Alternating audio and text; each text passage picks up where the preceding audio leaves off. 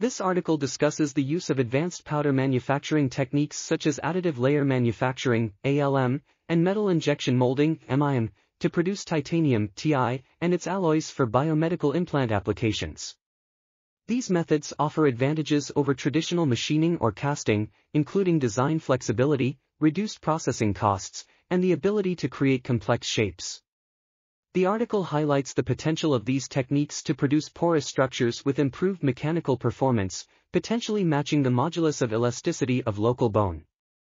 However, the impact on biocompatibility has not been extensively studied, and future research is needed to fully understand the implications of using advanced manufacturing methods for implant production. Overall, the article suggests that advanced powder metallurgy holds great potential for producing T-based implants with optimal mechanical properties and biocompatibility. This article was authored by Alfred T. Sidambe. We are RTCL.TV, links in the description below.